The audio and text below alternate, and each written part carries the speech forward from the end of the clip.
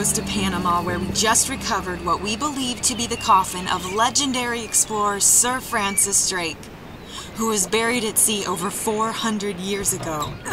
Are you sure you want to be defiling your ancestors' remains like that? You can't defile an empty coffin.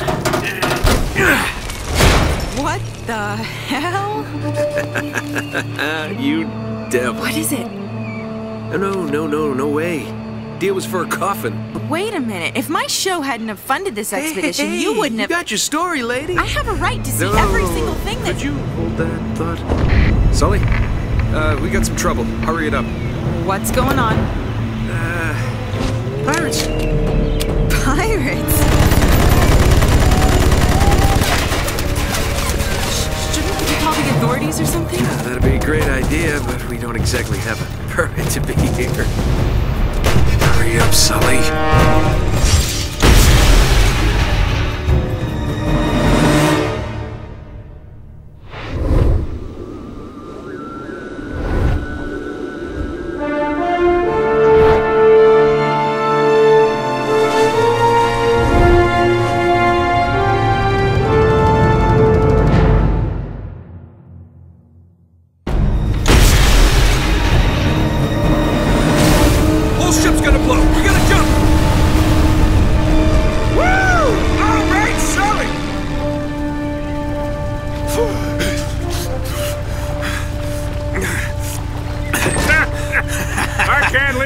Leave for a minute, can I?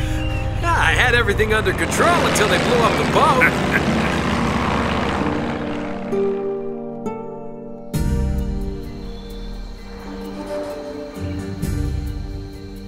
So look, when Drake sailed into the Pacific, he took the Spanish fleet completely by surprise.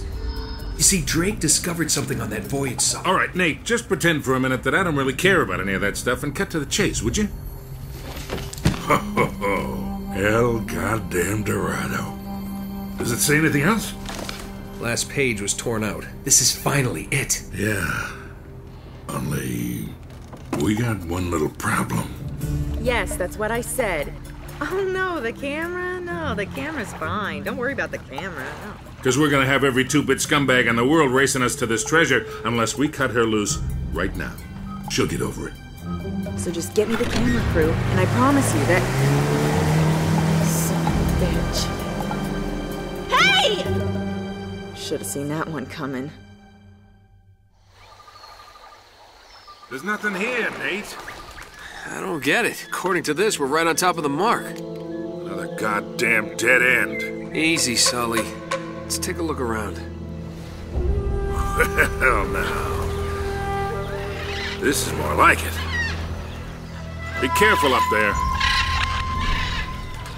Hey, there's something funny about the ground down there. It's hollow.